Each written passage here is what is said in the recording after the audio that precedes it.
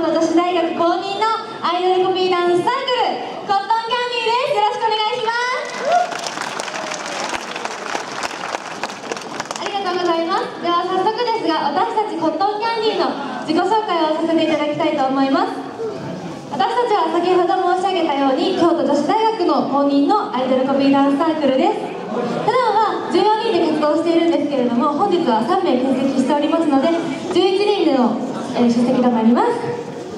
はい。で私たちはですね普段地域のこういったアースパルトさんのような地域のあのイベントに出演したりや学祭などに出演したりしております。またユニドルという女子大生の私たちのようなアイドルコピーダンスサークルの1位を決めナンバーワンを決める決定戦大会に出場しております。でユニドルというんですけれどもこちらで関西大会で3連覇しまして、え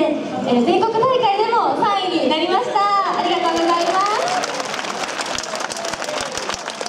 はいありがとうございますで先ほどお送りしました曲は SKE48 の「パレオはエメラルド」でした。続いてお送りします曲は AKB48 で「言い訳ベイビー」です。